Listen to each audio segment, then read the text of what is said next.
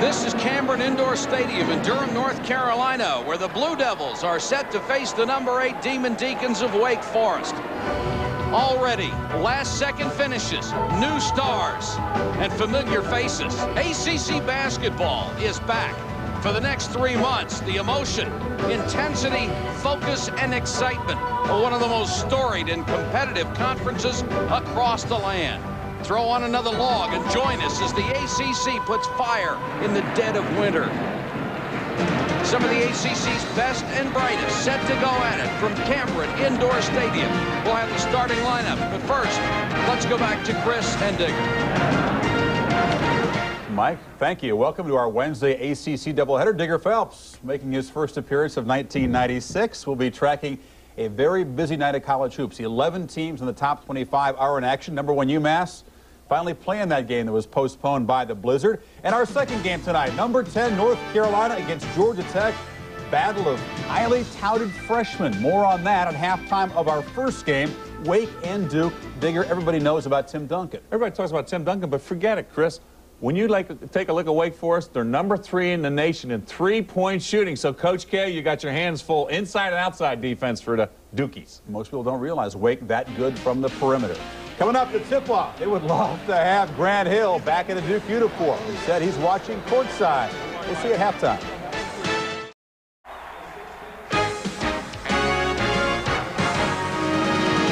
ESPN's presentation of NCAA basketball is brought to you by Pizza Hut, home of stuffed crust pizza.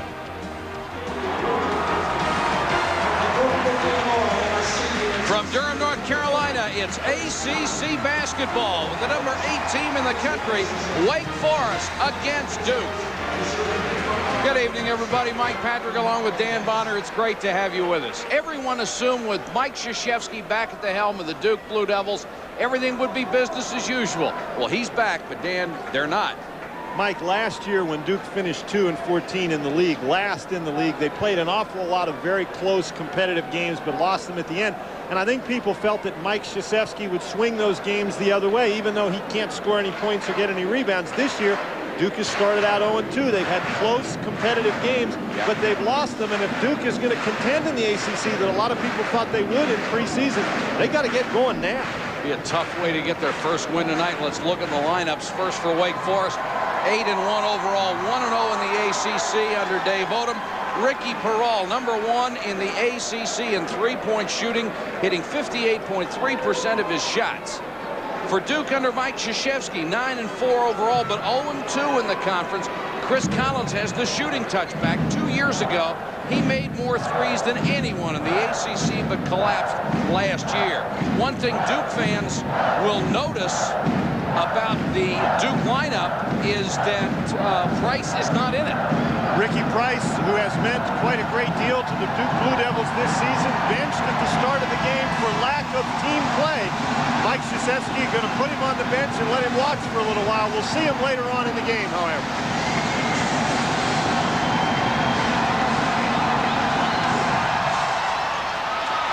And Wake Forest controls the opening tip. Rutland immediately goes inside to Duncan over Newton and misses the first shot.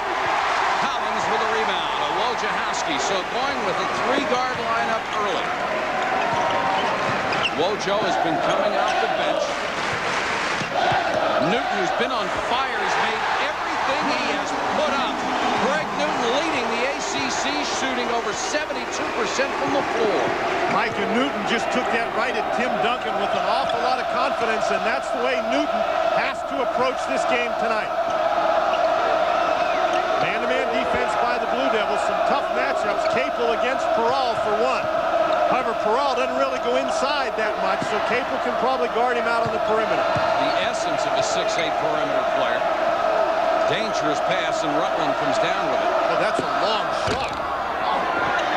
Didn't get the roll, but the offensive rebound goes to Stringfellow and back out to Rutland. That's why Stringfellow's in the game, Mike. The Wake Forest coaching staff really feels like he can give them a presence on the board. LaRue can't find his shot. Always looking for Duncan, and now they have him low. Over. Nice job by uh, Tom uh, Domzalski, who bodied up against him. Mike, one thing that both times that Duncan has received the ball, he's been out in the high post area and had to basically drive to the basket. They need to get him the ball down on the block. Collins with a pull-up jumper that rattled out on it. 2-0 Duke early. Mike, Wake Forest not really a team that's going to get out and try to run in transition They're going to try to work it in the half-court offense and get Duncan involved in the game. You would think they try to post Peral up every once in a while with that huge height advantage. Duncan gets in low, and Newton blocked it. He got the rebound, too. Great help by Domzalski, not letting Duncan get to the basket by himself.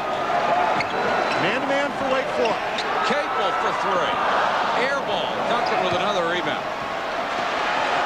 Now Capel has his work cut out for him on the offensive end as well, Mike, where Peral is matched up against him defensively. And at 6'9", Peral's an awful big guy to try to shoot the outside shot over top of. Duncan has missed all three shots so far. Means they won't will go back to him, of course. And here's the steal as Duncan makes the bad pass. Collins to Capel. This is Wojciechowski. Nice entry pass to Domzalski. Tries to reverse, and Duncan just casually swatted it away. Duncan is one of the great shot blockers that ever played in this league, and most of the time he doesn't even bother to leave his feet. And what's great about Duncan is when he blocks the shot, his team usually recovers the basketball. Not a lot of show, just a lot of production from Duncan. He's got three rebounds in the game already. We've played three minutes and 10 seconds. It's only two to nothing. Again, man-to-man -man defense for Duke. There's the switch. Wojciechowski gets back, but Rutland tries the runner and misses it. Nice effort by Collins. Not only did he get the rebound, but very well aware of where Capel was to get him the ball.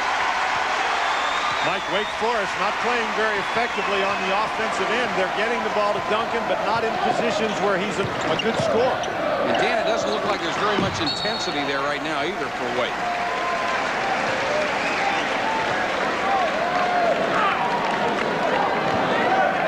Haven't exactly been lighting it up so far. no. Wake Forest, a tremendous defensive team, second in the ACC in field goal percentage defense. Collins, nice dish off, and Domzalski gets the slam. He's out of Lovington, New Mexico, and says there just aren't very many big people out there to play against. He's not used to it. We'll get used to it here. LaRue loaded Duncan, and there's Newton reaching over the back. He says the only time he gets in foul trouble is when he gets sloppy on defense. He wasn't sloppy there. He was very aggressive. We've got a timeout on the court. 15.49 to go first half. It is 4-0 Blue Devils.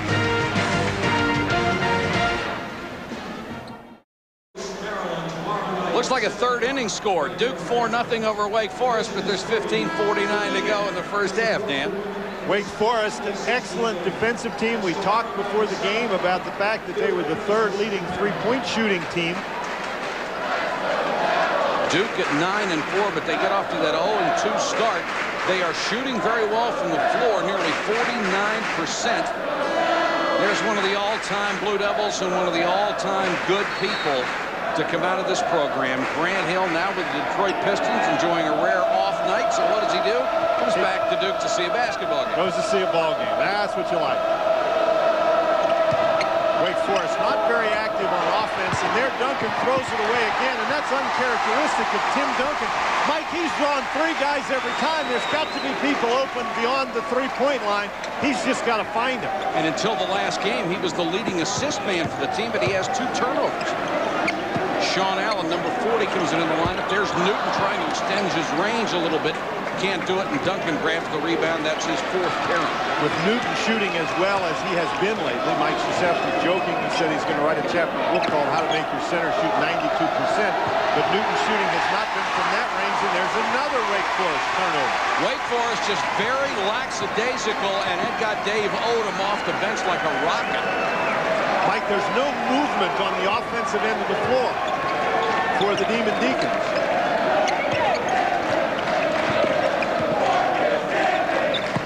Collins Flips a pass inside. Nice catch by Domzalski. Nearly missed him on the return. But Domzalski had the right idea. Had Collins been in the right place, that would have been a three. Shot clock at four. Nice fake by Wojciechowski, but it was a double dribble. Of course, following our game, we have more ACC action coming your way. Number 10, North Carolina will travel to Atlanta to take on Georgia Tech, and you have to wonder which Yellow Jacket team is going to show up. What a couple of freshmen, though, Mr. Modern. Well, I'll tell you what, you know, they say that adjusting to a power league like the ACC is hard for freshmen. I think hard for some freshmen, not those two guys. Saw Antawn Jamison over the weekend. I'm convinced he's a fifth-year senior who's had plastic surgery. that kid's no freshman. LaRue misses his first shot. Still 4-0 Duke. The shutout extends 5 minutes and 45 seconds. Collins forced the shot, doesn't get it. The rebound to Antonio Jackson out of Aliceville, Alabama, in for the first time. And Wake Forest going with a little bit bigger lineup right now. Jackson comes off the bench. They feel that he can give them a little bit of offense. Another miss, this time by Rutland. The long tip to Wojciechowski. And I think Wake Forest would just take any offense at this point. Love to get a breakaway layup just to get off the schneid. They've gone 6 minutes and 18 seconds without scoring. Mike, they haven't attacked the basket either, No. so they haven't created any fouling opportunities where they can get to the free throw line. Collins working the top of the circle to Capel. Terrell with that 6'8 frame and a bigger wingspan. Well, but Duncan is out of the game right now, so Capel really ought to look to take the ball past Peral to the basket. And he did, and the shot clock's down to two as he scores 6 nothing Blue Devils. There's Duncan sitting on the bench, but as long as Duncan is in the ball game, if Capel gets past Peral on the outside, he's not going to be able to take the ball all the way to the goal. But with Duncan out of the game, look for Capel to take the ball hard to the basket.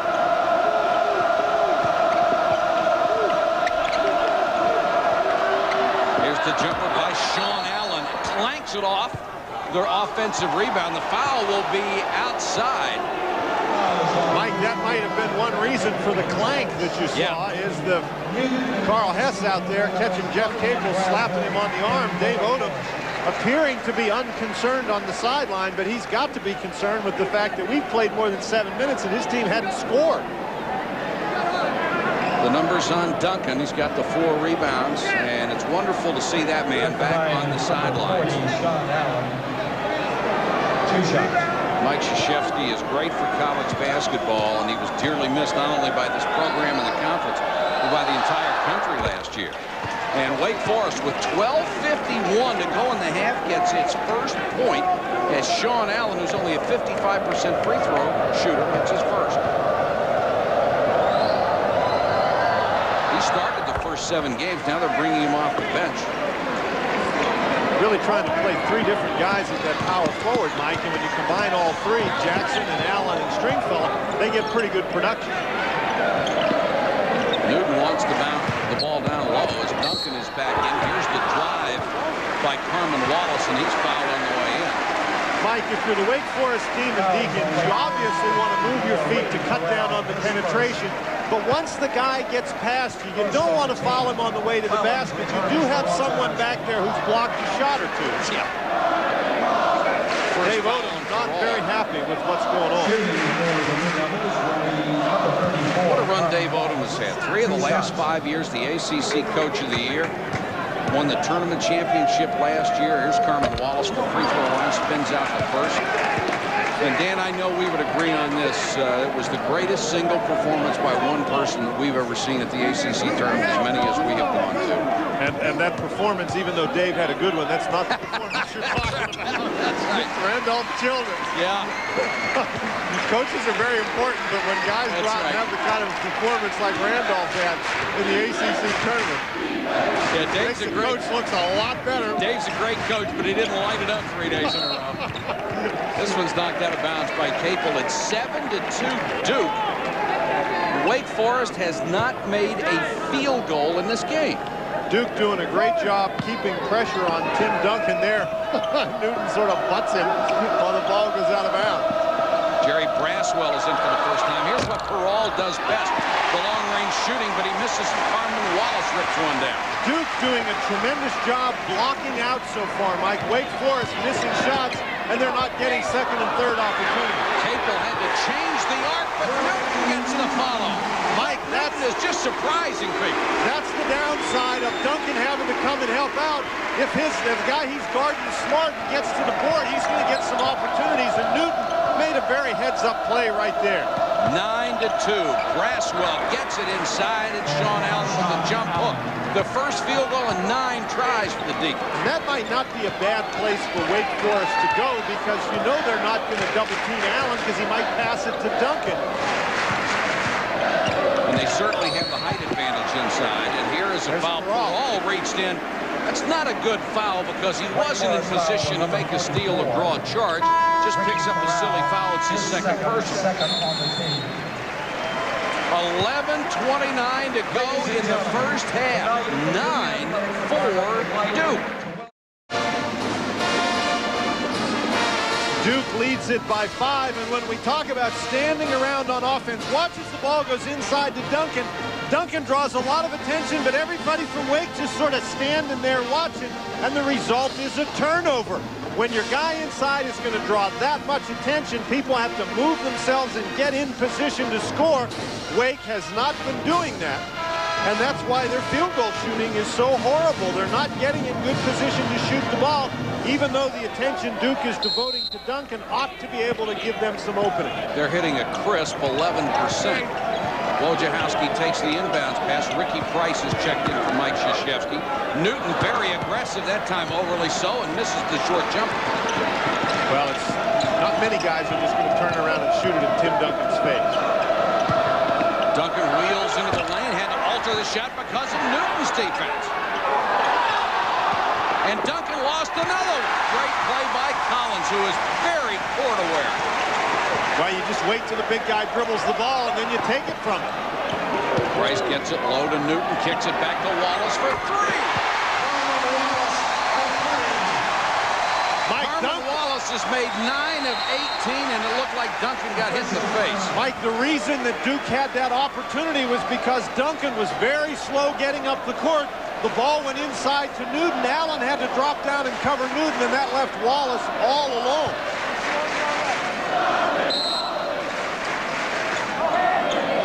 Looks like he's all right.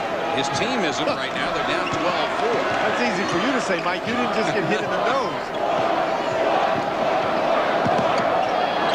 Rutland throws it right to Price. And Price loses it to Braswell. Braswell loses it back to Price. And an offensive foul on Price. Well, nobody wanted the ball. Mike, the Duke Blue Devils have come out here and they're playing very, very aggressively. There's good movement both of the ball and of the people on the offensive end of the court for Wake Forest up to this point in the game, it's been the guy with the ball playing and the other four guys standing around watching. That's why they have six turnovers. Dave Odom gets Rusty LaRue back in for Tony Rutland, and here's pressure by Duke. And Wake Forest has really played a lot of guys here in the first half of the first half. I think Dave Odom, he's looking for any combination that might start to click. Nobody's found a rhythm yet. Wake has not played poorly on defense, Mike. I mean, good heavens, you hold the team 12 points in the first part of the first half. There's another blocked shot by Newton.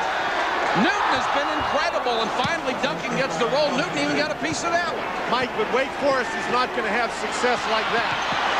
And there's the steal by Braswell. Duncan, Newton right in front of him, and he's clobbered from behind by Wallace. Tim Duncan does this on his own, and as Duncan struggles with the basketball, his Wake Forest teammates are going to stand and watch. There's nobody else in your picture for Wake Forest. Still nobody in your picture. Nobody coming to the ball. Finally, Duncan shoots the ball. The whole Duke team is standing around him, and there's nobody for Wake who's open so he can throw him the ball. Tim Duncan, a consensus All-American and many people's choice as the player of the year in college basketball, but uh, very difficult to play one on five and win.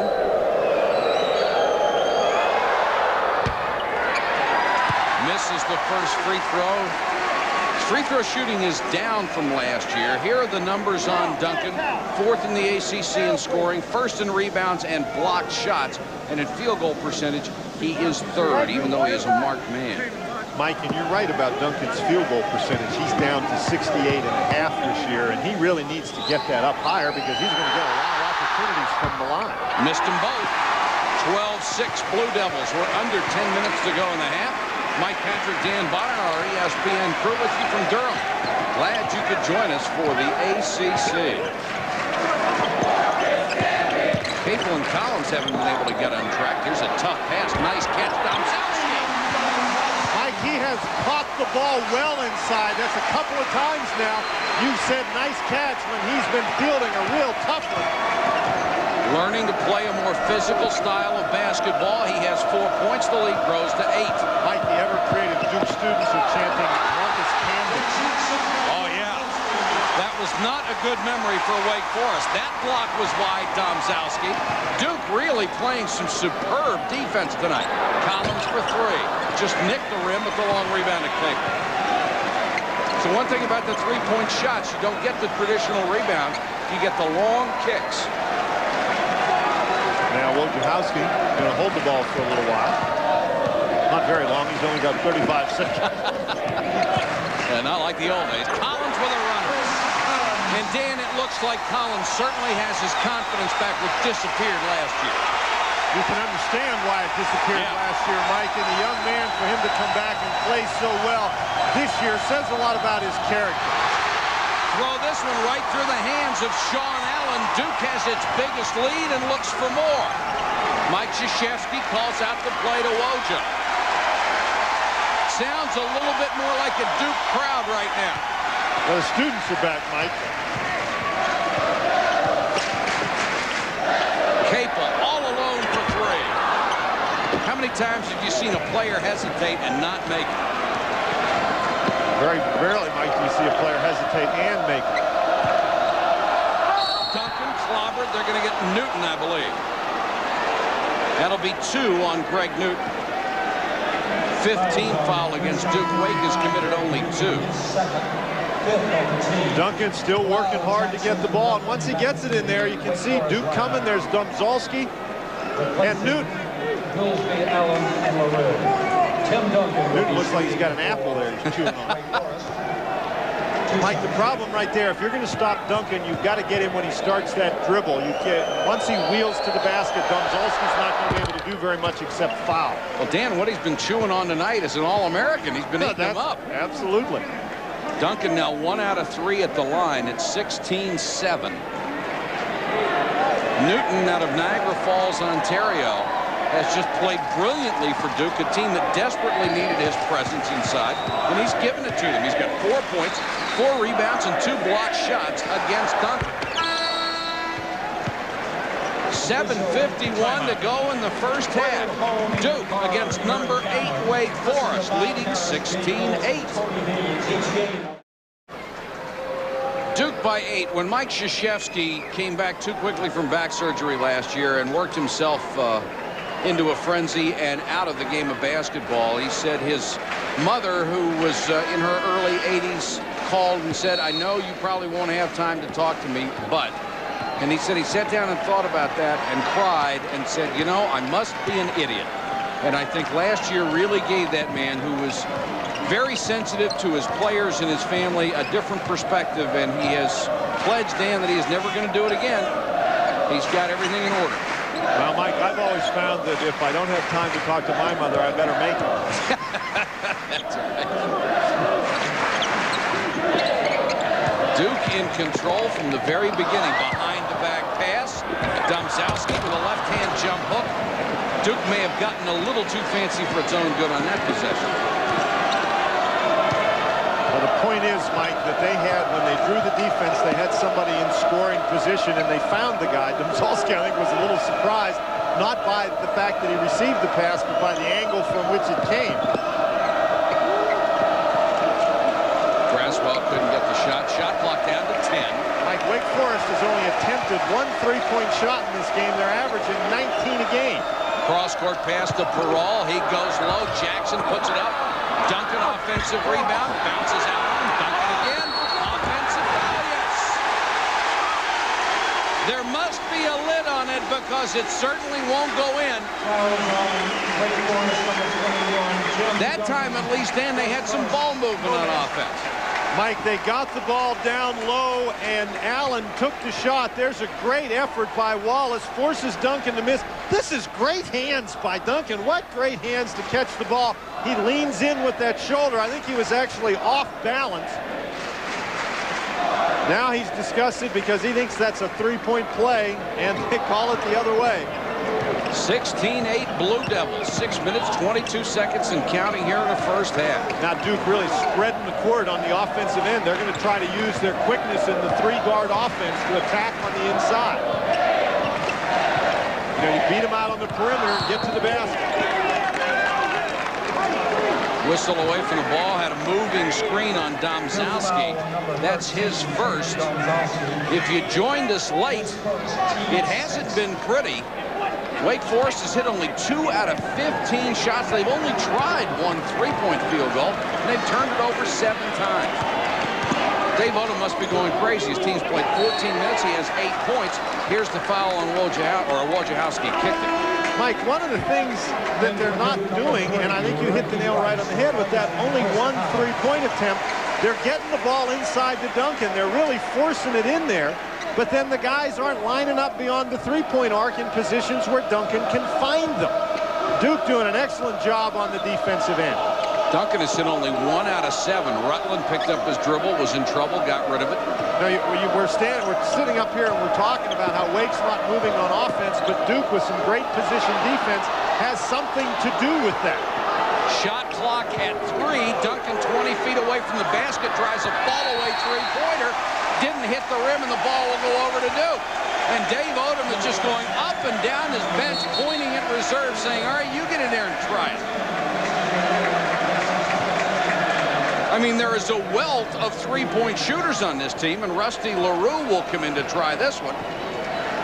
But Mike Krzyzewski's squad is finding the three-point shooters, and they're not letting them have the three-point shot. They're 0 for 2 from three-point range. Capel, pull up, jumper. Mike, and that's a shot that's going to be available.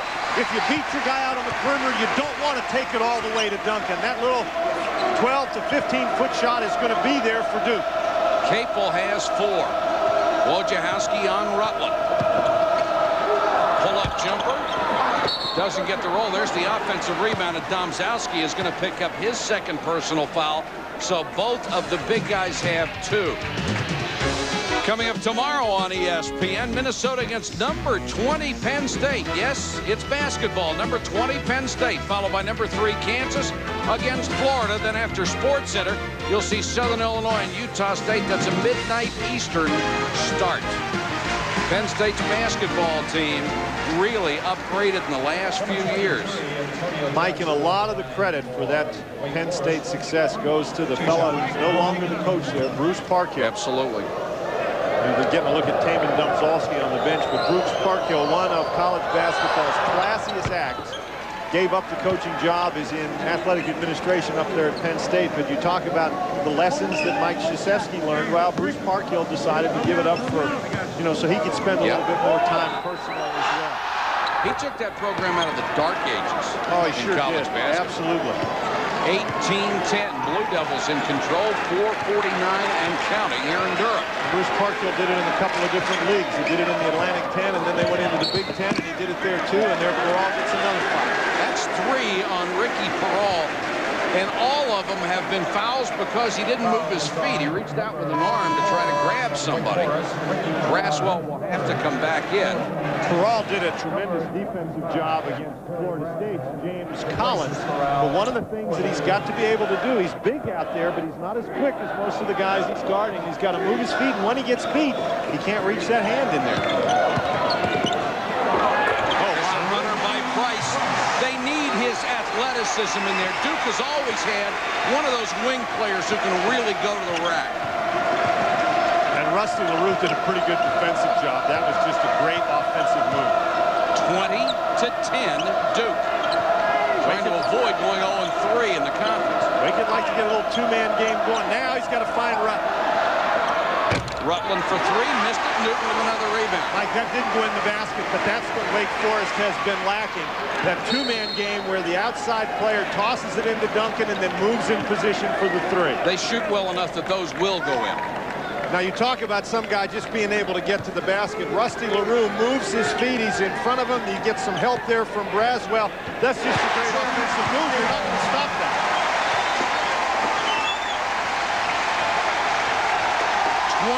22 to 10 as Capel has half a dozen.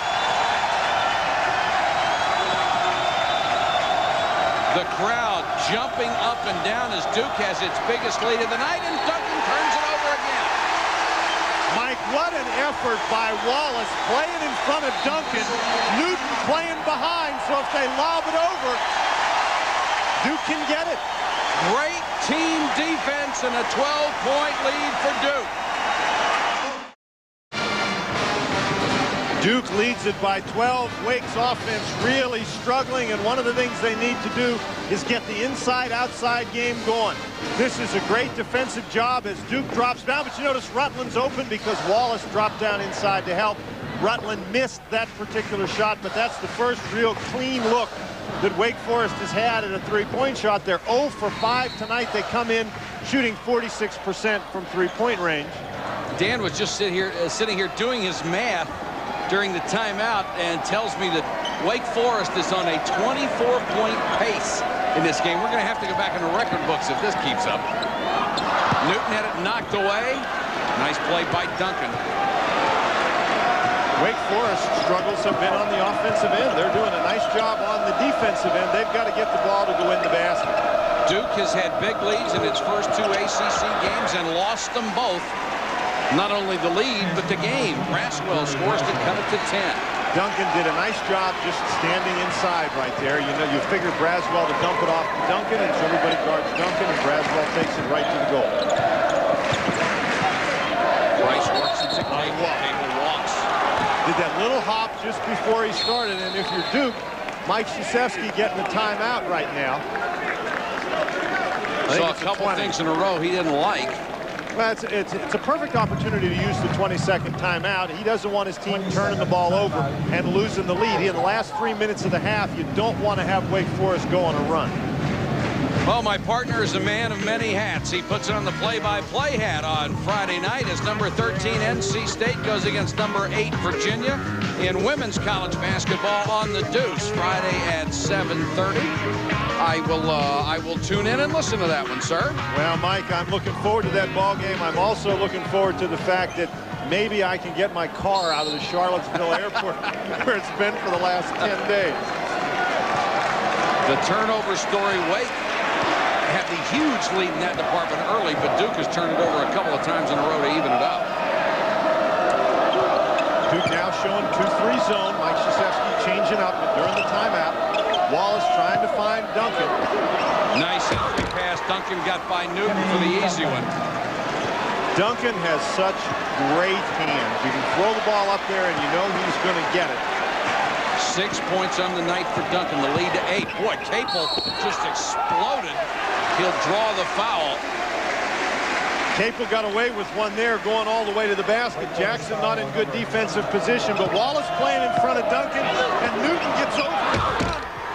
But they just throw the ball over top of Newton and Duncan with the dunk. Jackson picks up the last foul. It's his first. And Capel will go to the line, nearly a 79% free throw shooter. If Jackson doesn't try to step in, Duncan blocked that shot. And that's what I was talking about. Capel, once he gets by his man on the perimeter, he'd be much better off stopping and shooting the short jumper.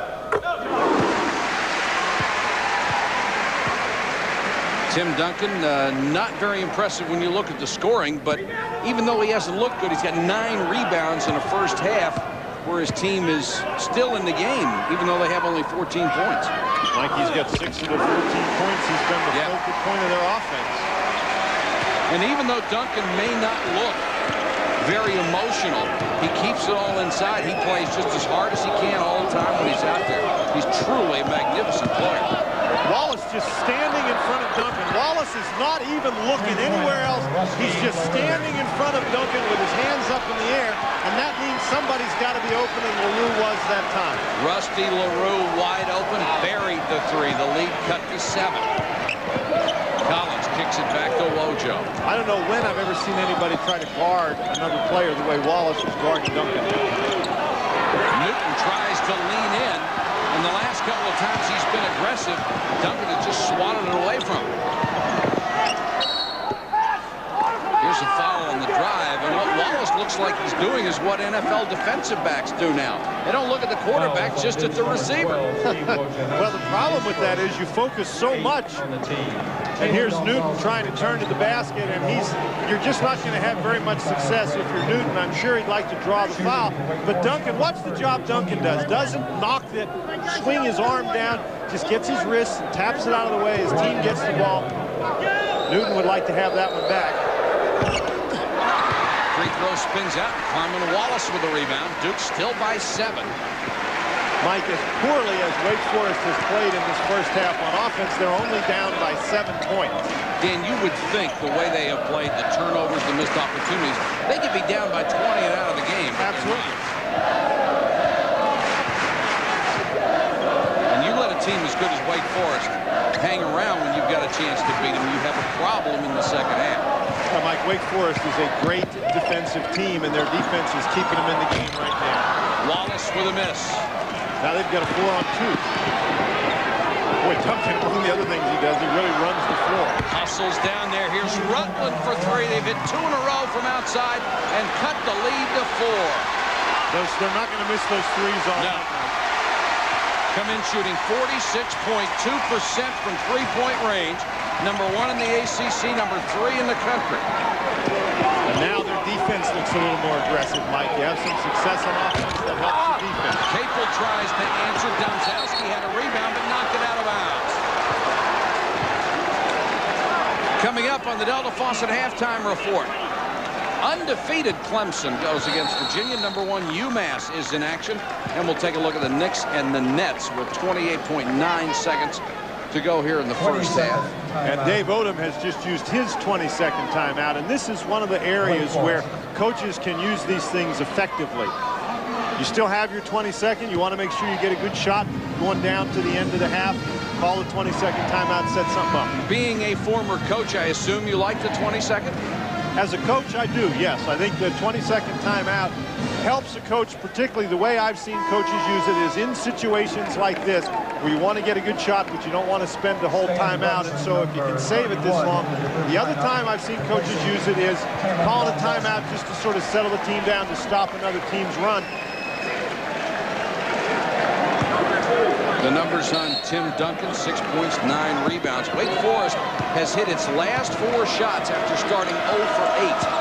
Wojciechowski gets nailed on a screen. Rutland right down the lane. It's a two-point game. And again, Mike, Duncan was a key factor in that play because you can't help off Duncan. Duke will get the last shot. Collins goes down the lane, had it blocked out of bounds, and it hit Collins when he was laying on the ground, and that's why Dave Odom has exploded off the bench. That ball hit Chris Collins while he was laying out of bounds. It ought to be Wake's ball and not Duke's. And he is beside himself, and he's got he's got a legitimate gripe. Oh, that's true, but Dick Paparo doesn't see it that way, so Dave better pipe down. Capel trying to get the shot off, and now here comes the foul on a three-point shot, and Dave Odom is going to light up like a Christmas tree now. Well, Dave Odom does not want to get a technical oh, foul. He is lighting up like a Christmas tree. They are going to say it's a two-point shot. Six on the table. Going to line for two shots, Jeff Capel. But if you saw that play, the ball came down. It did not hit the floor. It hit Collins first while he was prone on the floor. And now Capel, with no time on the clock, will shoot the free throw.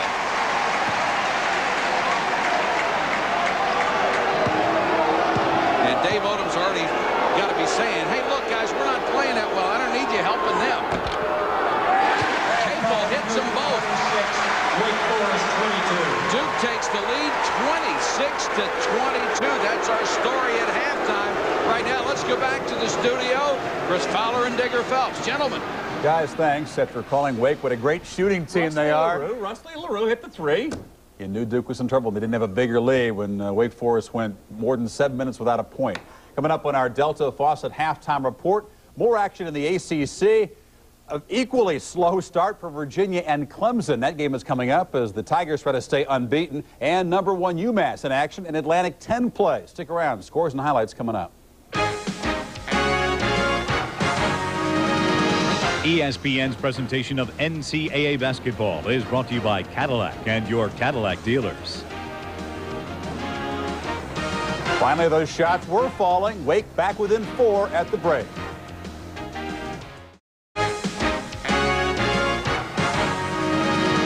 ESPN's presentation of NCAA basketball is brought to you by Ford and your Ford dealer.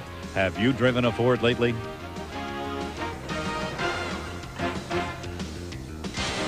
Score updates. Hoyas and Pitt tied. Virginia leading Clemson. Virginia's won seven straight games against Clemson. They always hold them to poor shooting percentages. Virginia Tech still trailing by four to Duquesne. Purdue leading. Gene Keady going after his third straight Big Ten championship without Robinson, without Cuonzo Martin, and Waddell. Thought you had Penn State winning that conference. Back to Mike and Dan. All right, thank you, Chris. It's 26-22 at the half here. Duke over Wake Forest. Mike Patrick and Dan Bonner, glad to have you back with us.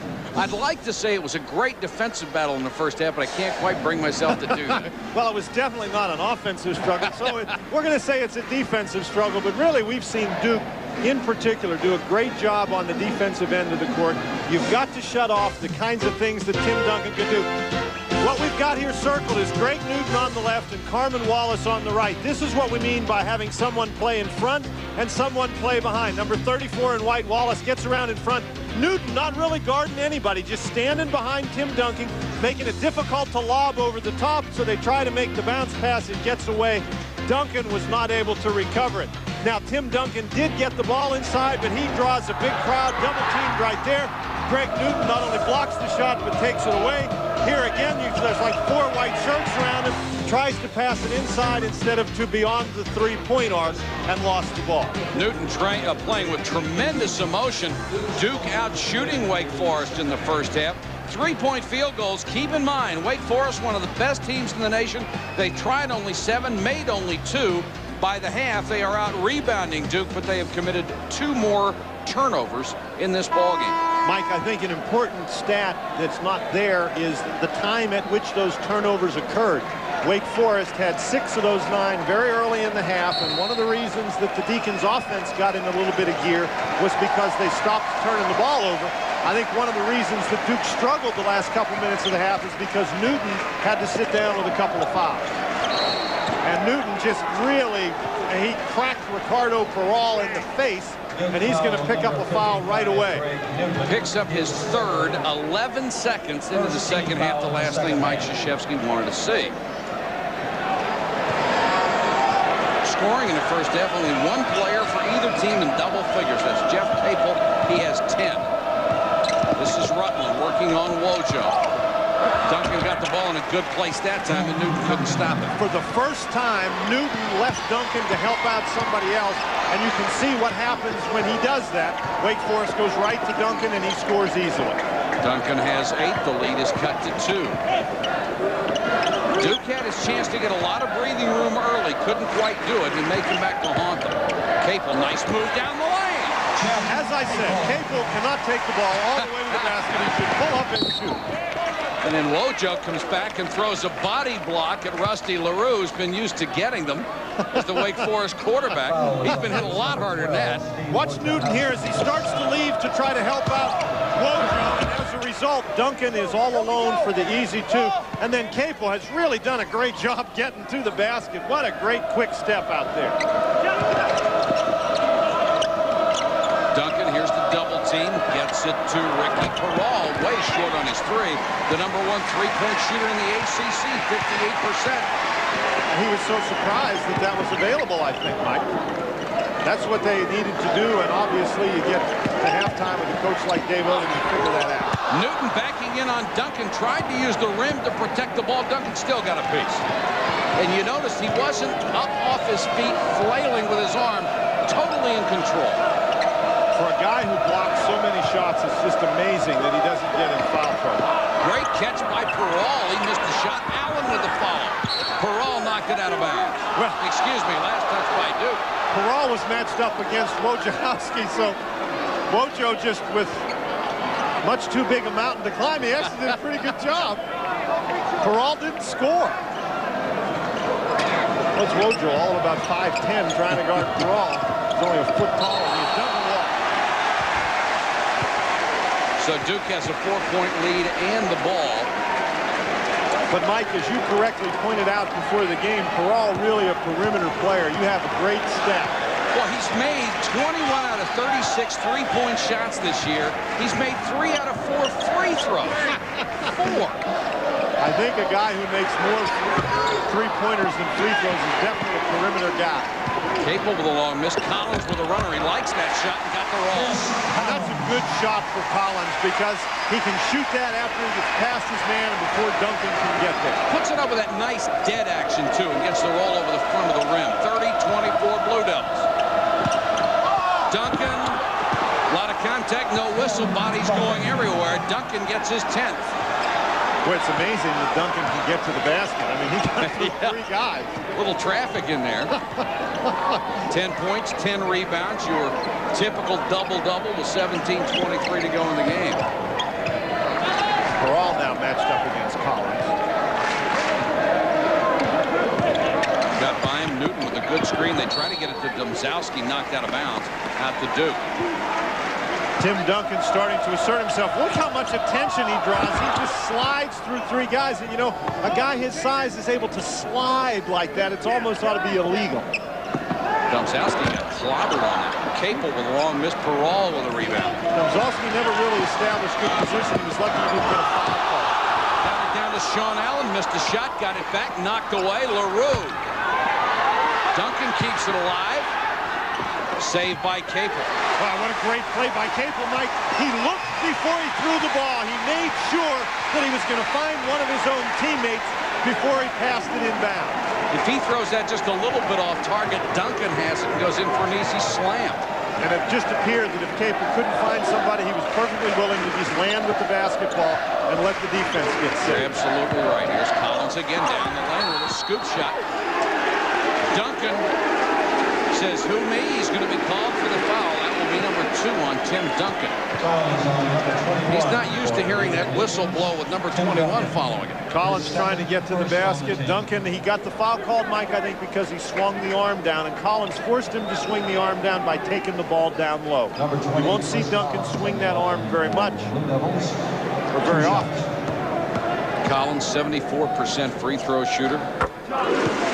Last year he had a broken bone in his foot. The first day of practice, had to have surgery, came back probably too early, and just couldn't throw it in the Atlantic Ocean after that.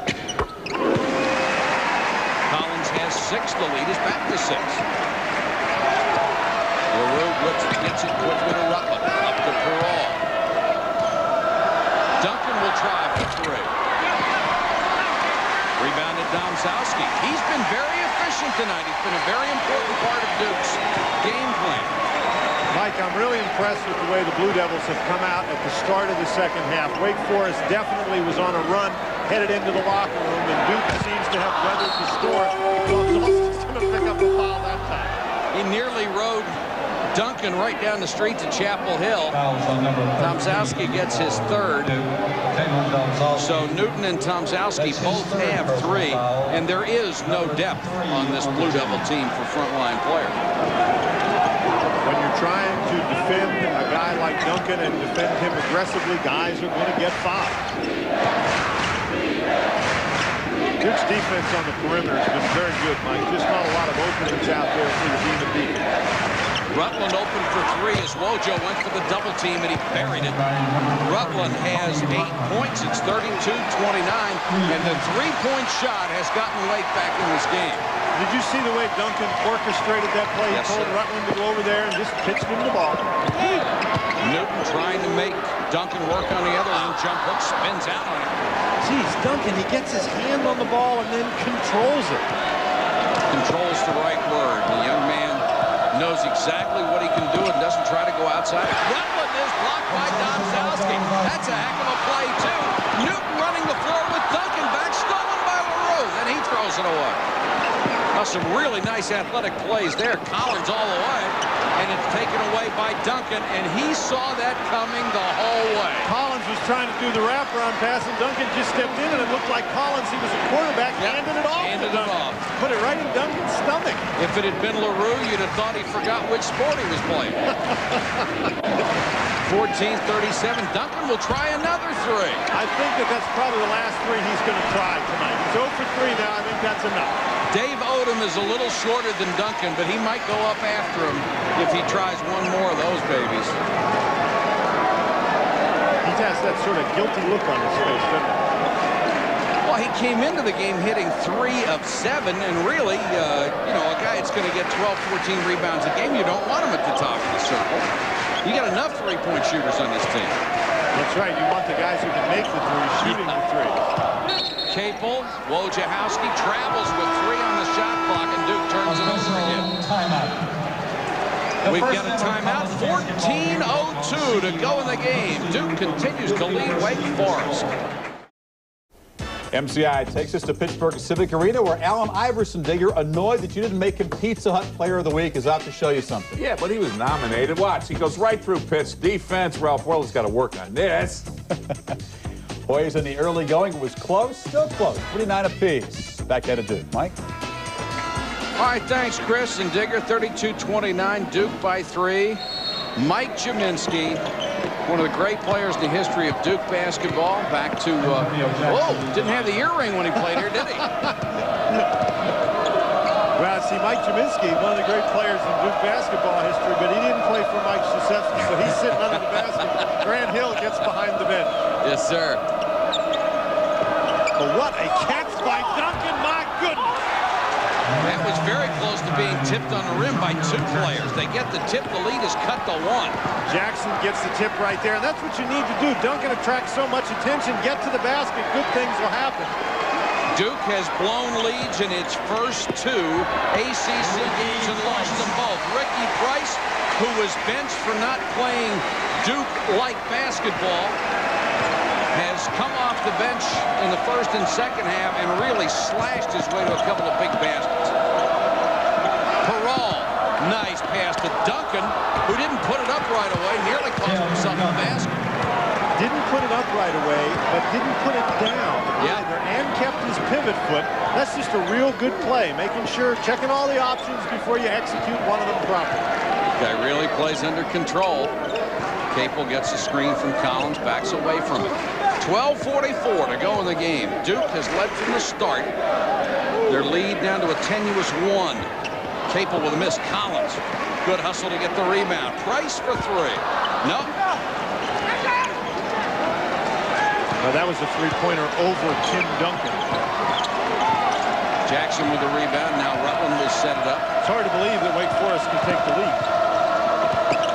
I'm sure that's exactly what Mike Krzyzewski's feeling right now.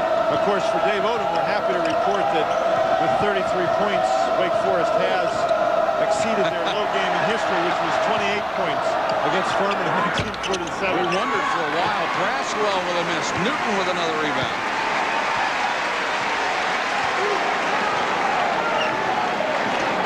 Seven boards for Greg Newton.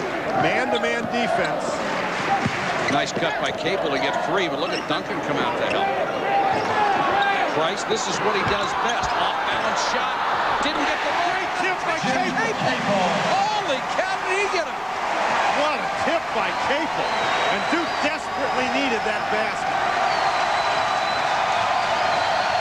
Capel has 14. Duncan gets called for the foul, pushing against Wallace. You can certainly understand the way Wallace has been guarded and why you'd want to push him. Dave Odom is not happy with that particular call. That's three on Duncan. Official timeout. That matches Newton and Domzalski. Still a three-point lead. Duke leads by three over eighth-ranked Wake Forest with 11.26 to go in the game. There's a young man who will not play this year, Trajan Langdon, the third leading scorer a year ago. Out of uh, the great state of Alaska, suffered a stress reaction above his knee. Had nothing to do with the joint itself, but he will be a medical redshirt this year and come back next season. Mike, he hasn't even practiced since that injury, No. so that's how serious the injury was. Of course, for Duke's sake, that's where their strength is in the backcourt. This is Wallace. Nice dish to Newton. Double clutch and got it. Boy, he knew where Tim Duncan was all the time that play. But now Duncan with three personal fouls, maybe it's time to attack him in there. Wallace has six, and he'll go against Newton. Braswell picked it up, nearly lost it to Price. Now he does lose it. Jump ball situation. We're on the other side of the possession arrow, it will go back to Wake.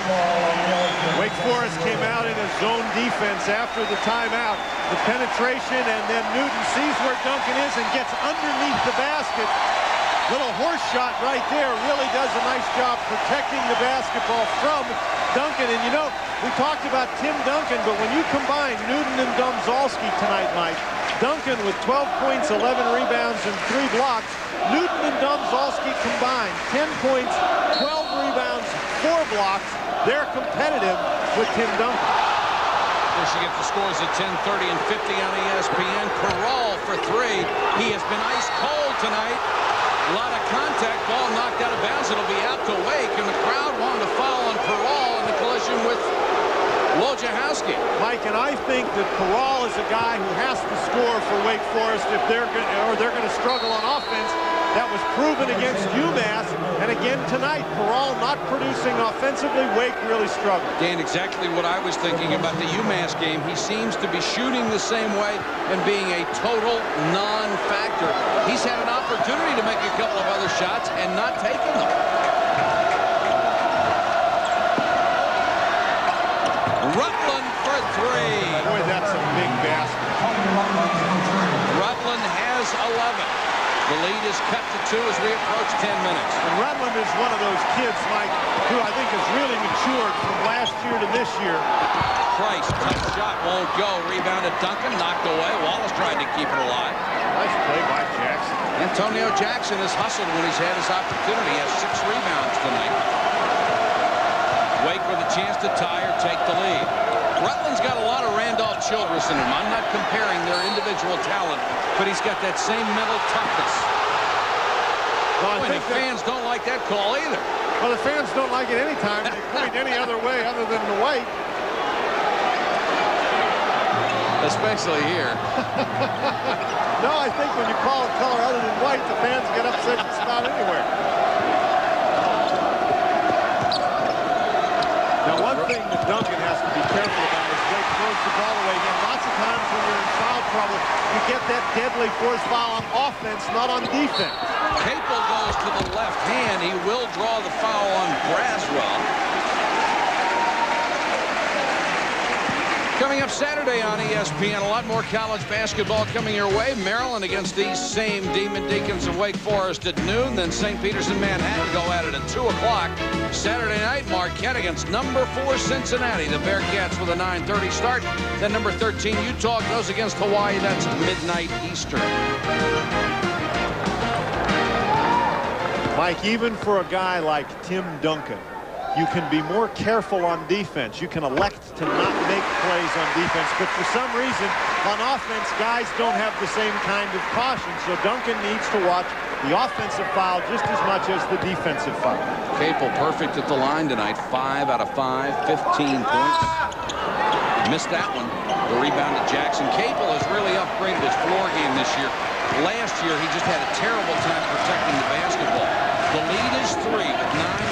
go. Mike, a lot of that has to do with decision making. It wasn't that people were picking his pocket, and there's Rutland again.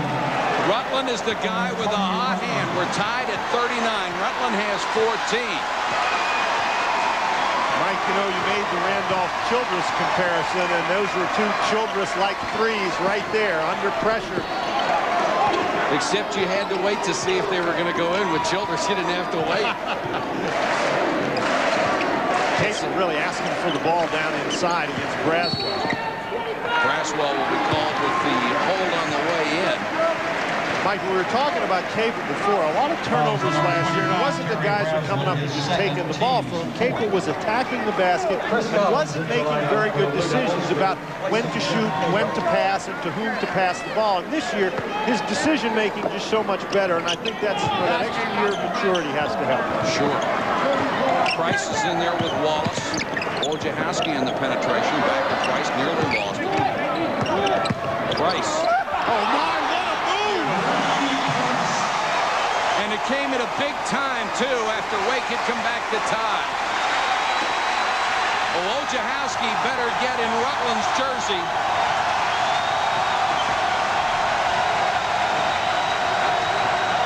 Has hit four out of seven threes. Jackson with a leaner. Rebound to Newton. Excellent defense.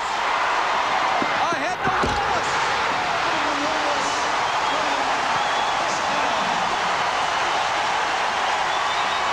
How's that for a response after it's 39 all? Duke explodes for the next two, and Dave wants a timeout. It's a 20-second. Dan, I don't want to draw too many comparisons, but this is what Duke used to do with that great run of Final Fours under Mike Krzyzewski. They responded. And you can see the intensity on Mike Krzyzewski's face. He's trying to transfer that intensity over to his kids. Price just takes the ball to the basket, slides by Duncan, uses his body to protect the ball. I think he fooled Duncan with which hand he was going to shoot the ball. And then Collins with an excellent look down the court. Wallace has been doing a great job defensively. And Collins has always been a good guy for the reaction. Yeah. Very emotional player. This year he has a lot of things to have positive emotions about. He's done an excellent floor job. He's taken over a lot of the point guard duties. 43-39.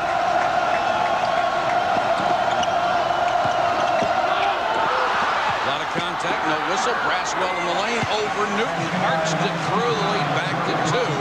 Braswell has four. Mike, you talked about Wojciechowski having to get right up in the shirt of Tony Rutland. He's done it the last couple of times.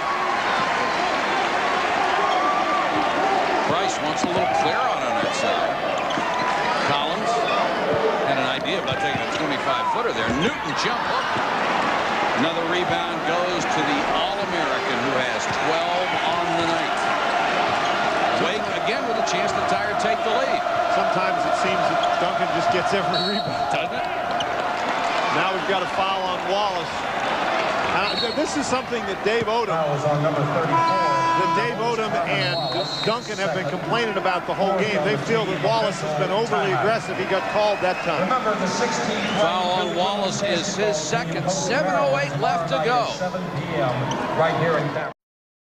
Georgetown first place in the Big East, but trailing at Pittsburgh. Did you criticize the Panthers' defense? They got better. You got the run, 12 to 2 run. Here's three of them right here. Goes right in. You got it.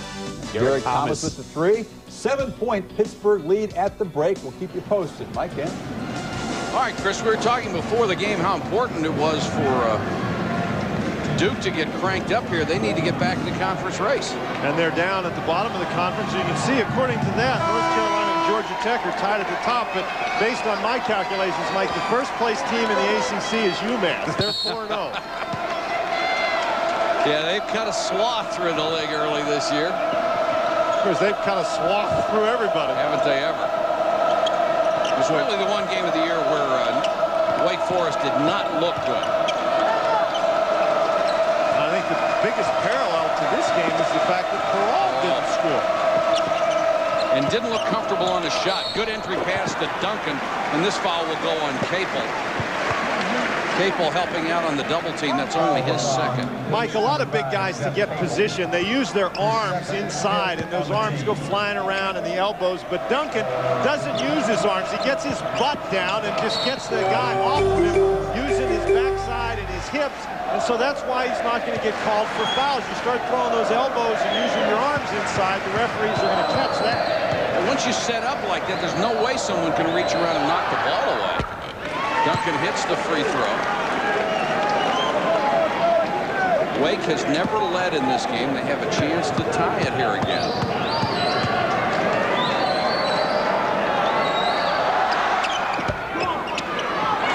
Got the bounce. 43 all. You talked about the Blue Devils responding. Let's see if they have another response in it. There's a double team. They get it to Collins. This is the first time Wake has shown his trapping defense. Price wide open for three. Mike, the reason a lot of teams have gone away from those trapping defenses, if you can beat the trap, you get three-point opportunities. Duke got one and converted it. Price has nine off the bench. Duncan trying to face up on Newton and slipped inside into the jam. Nice move. Mike, you cannot give Duncan that much time. He had to go a couple of feet and a couple of dribbles to get to the basket. He's, Newton has to have help. Duncan will score 100 if they let him do that. Absolutely. Approaching the six-minute mark. And Collins want to take over. Price has been pretty aggressive, too. Capel with a tough shot. Had a hand in his face. Here's Newton battling for the rebound. He kept it alive. Price did a great job knocking that ball up. And here is another silly foul on Peral where he didn't move his feet enough and it ended up catching him with a knee. Tim Duncan has drawn so much attention here. This looks like they're playing one-on-one. -on -one. Nobody else in the picture. You cannot let Tim Duncan have that much time to get his shot set up. 20 seconds. Four fouls on Ricky Peral with five minutes and 44 seconds to go. And we get another 20-second timeout. Be timeout. sure to take home a souvenir from your A lot of players, Dan, when they have that kind of shooting difficulty, end up playing defense like that, that uh, Matador olé style for most of the night. Coming up after our ball game, the two teams who are currently tied at top of the ACC standings, North Carolina and Georgia Tech, both uh, battling tonight in Atlanta. That's a 9 o'clock start right in after our game. And I have not seen Stephon Marbury in person. I've seen him three times on television. Tremendously impressed. I've seen Antawn Jamison once in person, and I was uh, I was telling the North Carolina people I hope they don't draft him in the middle of this year because he's a great player. Duke by one, trying to build on the lead. 5:28 to go. Mike Patrick, Dan Bonner with you from Durham. Wake Forest comes out in a zone defense. Braswell trying to pay attention to Capel. Shot clock down to seven. Newton or Duncan waiting inside as Capel makes the drive. That was a tough shot. Yeah. Capel moving toward the basket, putting it with his left hand back behind his head. Wake with a chance to get the lead for the first time. That's the guy to go to. Peral finally gets a bucket, and Wake the lead. Mike, and that's what we've been talking about all night. That time, Wallace went down to help, and Peral found an open spot. 4.47 to go in the game. Wake trying to raise its record to 2-0 in the ACC. Mike Krzyzewski has seen his team lose the lead for the first time tonight. They're down by one with 4.47 to go. One of the reasons, Dan, the performance of Tim Duncan. Well, Tim Duncan doing a great job in the second half. Duke not able to get quite defensive pressure on him. I think part of the reason is Wake Forest has started to make some of those perimeter shots. Duke hoping not to repeat history. They had big leads in their first two ACC games. Clemson and Georgia Tech blew them both. They had a big lead in the first half tonight. It's evaporated. Once the game became close, they've answered every challenge. Here's another one. Wojciechowski with a tough left-handed shot. Wallace with a rebound. Good save. Capel with a leaner. Tough shot, and Duncan nearly flat-footed with a rebound. Mike, if you're going to win games like this, you have to make good decisions, and Duke did not make good offensive decisions. Those were all bad shots that they took. Yeah, that was really a- get a good look at the basket. That was a series of bad decisions. In this league this year, it's so balanced that I think just about all games are going to come down to who makes the best decisions in the last three or four minutes of the game. There's the double team on Duncan. Turnaround jumper. Missed the ball. Fouled out of the ball. Fouled out of the game with his fifth silly foul of this entire game. Hit one out of five shots and had two points. This is not a game he's uh, going to want to have a videotape of to send home. Well, I was talking to Mac McDonald, the radio broadcaster from Wake Forest, and he said that for some reason they have different kinds of VCRs over in Europe, so Duncan can't even send tapes to his parents to watch. And I asked him, I said, they don't sell Japanese VCRs in Spain? Yeah, but it's a different uh, technical setup. It's the European standard. You can get him transferred, though, if he wants to go to the effort. Let's leave tonight out. He's had some great ball games. I wouldn't slip this one into mom and dad. 345 and counting. Wake by one. Duke with a basketball.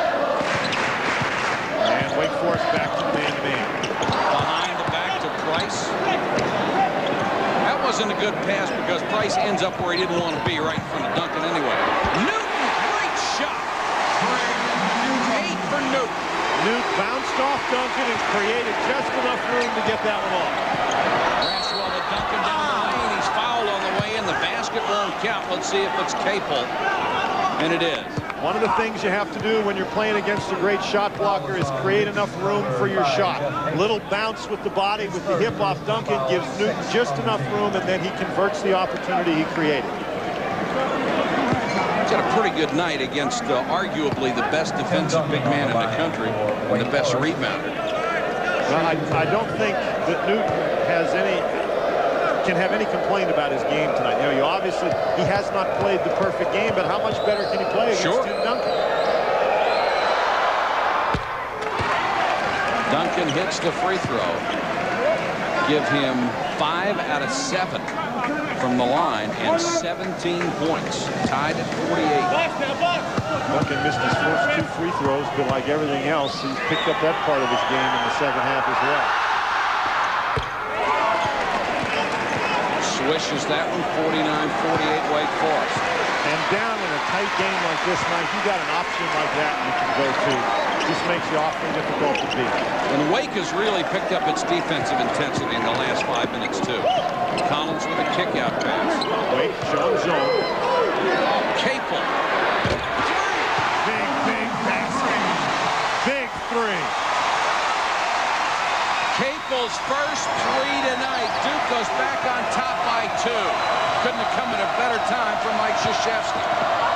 Duncan leans in. Newton may have gotten a piece of it, and they are going to rule goaltending, so the basket will count. I think Newton, unfortunately for Duke, did get a piece of it while it was on the rim. That ball was coming off. Off the other side. That ball was coming off. Newton gets back into the picture, and the ball's on the rim, I think, when he got a piece of it. I'd like to see that one again. Well, okay, here you get your wish. No, it's above the cylinder. the he hit it above the cylinder. Yep. If it's on the way down, it's goaltending. 51-51, 2.44 to go in the game. 2.44 left from Cameron Indoor Stadium, 51-51, Wake Forest and Duke. Grant Hill, I'm sure, would like uh, the lead to be about 10 or 12 so he can enjoy this one a little more. But Grant seems to be the kind of guy who's going to enjoy himself wherever he goes. Loves coming back, talking to Coach K, and visiting with old friends and neighbors. He's got a great family. His mom and dad are just about as good as it gets. 239 left. In three ties and three lead changes late in this game.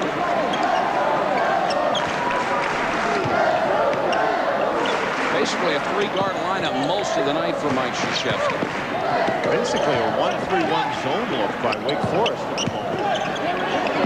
There's Price. He's free for a three-pointer, and he's hit two in a row.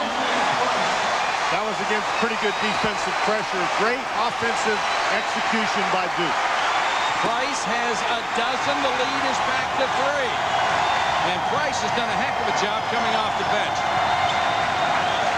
Duncan pushes, uh, has Newton push him all the way out toward the circle, then bowls his way in and scores. Mike, that's the second time we've seen Duncan go a long way dribbling the ball to the basket. They must make him give up the basketball. Newton cannot defend that by himself. 22 points for Duncan. Maybe about the only guy in the country who could is Marcus Camby, and they don't play them anymore. Price, left-hand tip, won't go, loose ball. Braswell comes out them. Capel is back. Contact, no whistle, and a travel call. The ball will go back to Duke. I don't think either coach is going to be happy about that one. Mike Krzyzewski will be happier because Duke has the ball. Got a timeout, Duke. A minute 26 to go. The Blue Devils clinging to a one-point lead. Youth has been served at Carolina, and they're again in the top 10. Georgia Tech likewise unbeaten in conference play at 2-0. A battle for early season supremacy in the ACC coming up next. That'll be a good ball game. We've had a dandy here with Duke leading by one over Wake. And if you're Wake Forest, this is option A. And if you're Duke, you simply cannot let Tim Duncan have three dribbles and move eight feet to the basket without giving Newton some help. Duncan has 22 points and 14 rebounds. Here's the storyline. Wake went the first 8-15 without a field goal. Duncan, a much improved second half as far as scoring. Duke has made its last three three-point field goals, and Capel has eight of his 18 in the second half. Price has chipped in with 12 for Duke off the bench. Blue Devils by one. They have the ball with 126 left in the game.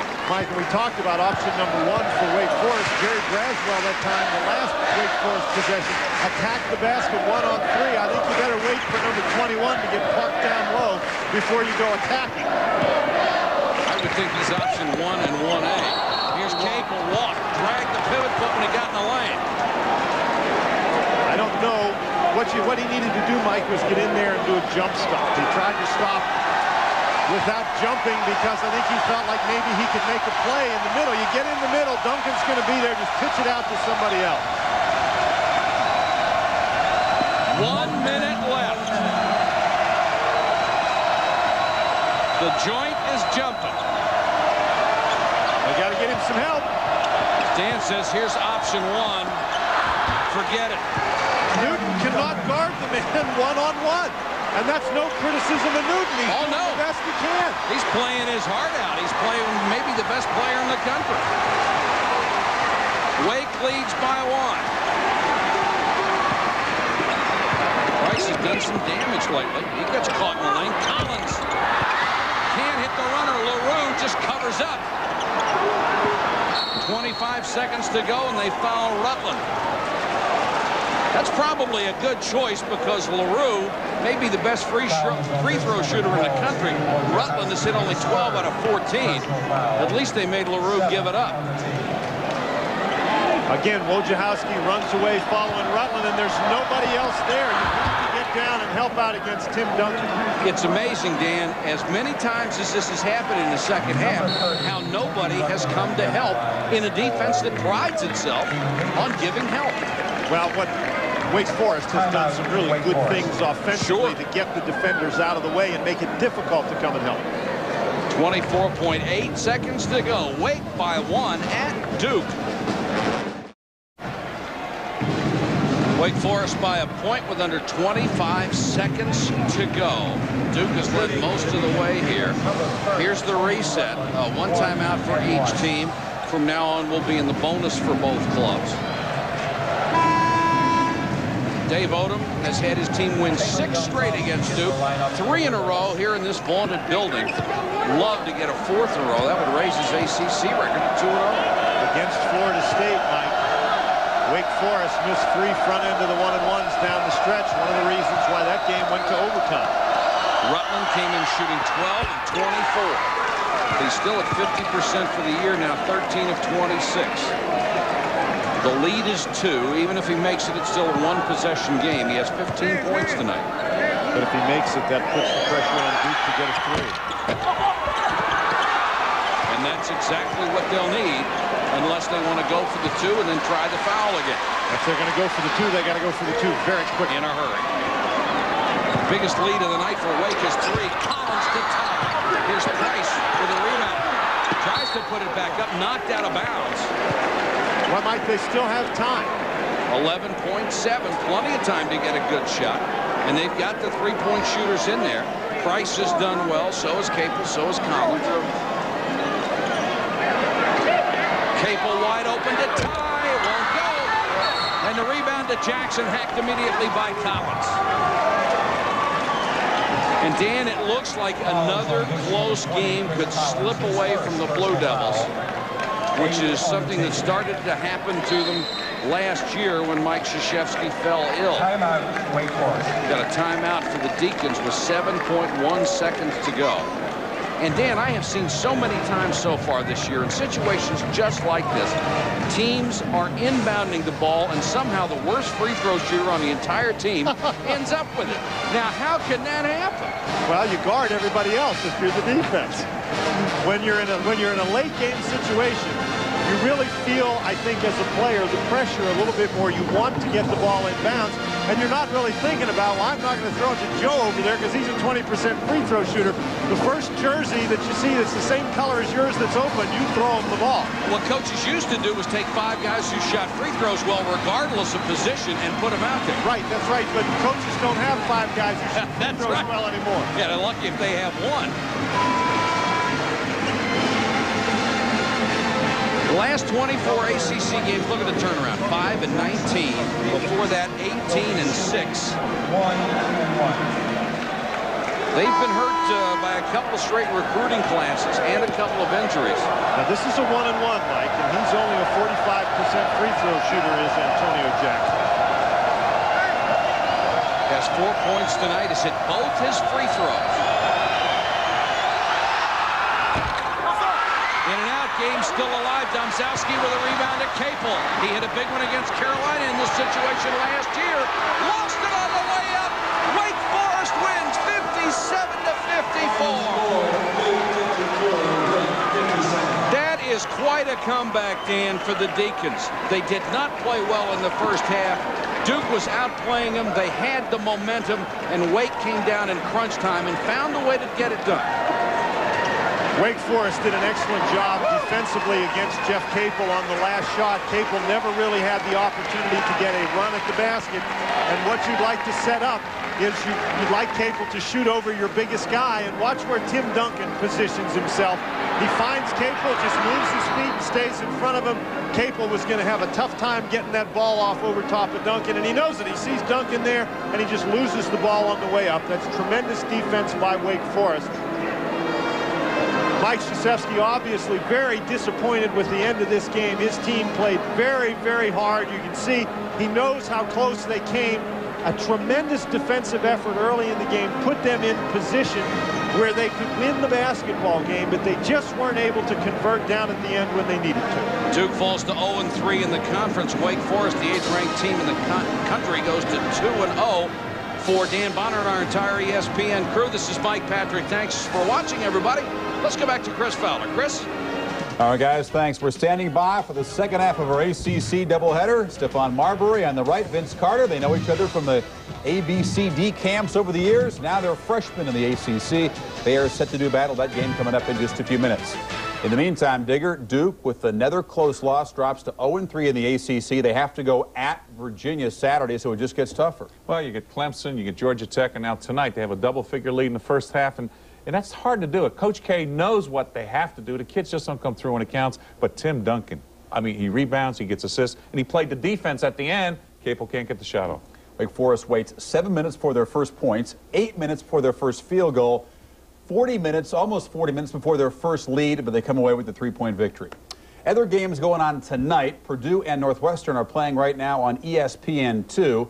This is a series that has been thoroughly dominated by Purdue over the years, and that's no change tonight. 53-34, the Boilermakers have the lead, 12-33 to play. I'm not saying get the clicker out, but the game is going on E ESPN2. it's not that close right now. Virginia and Clemson are playing. Clemson trying to preserve the undefeated record. A one-point lead over Virginia. This game a very sluggish start. They went more than five minutes without scoring. Right now, midway first half. And the Cavs, the next opponent for Duke, as I mentioned, trailing Clemson, but only by one point. UMass in the game postponed from last night by the blizzard. They got a battle from St. Joe's throughout. Right now, they're trying to hold on to a six-point lead in the final 30 seconds as they try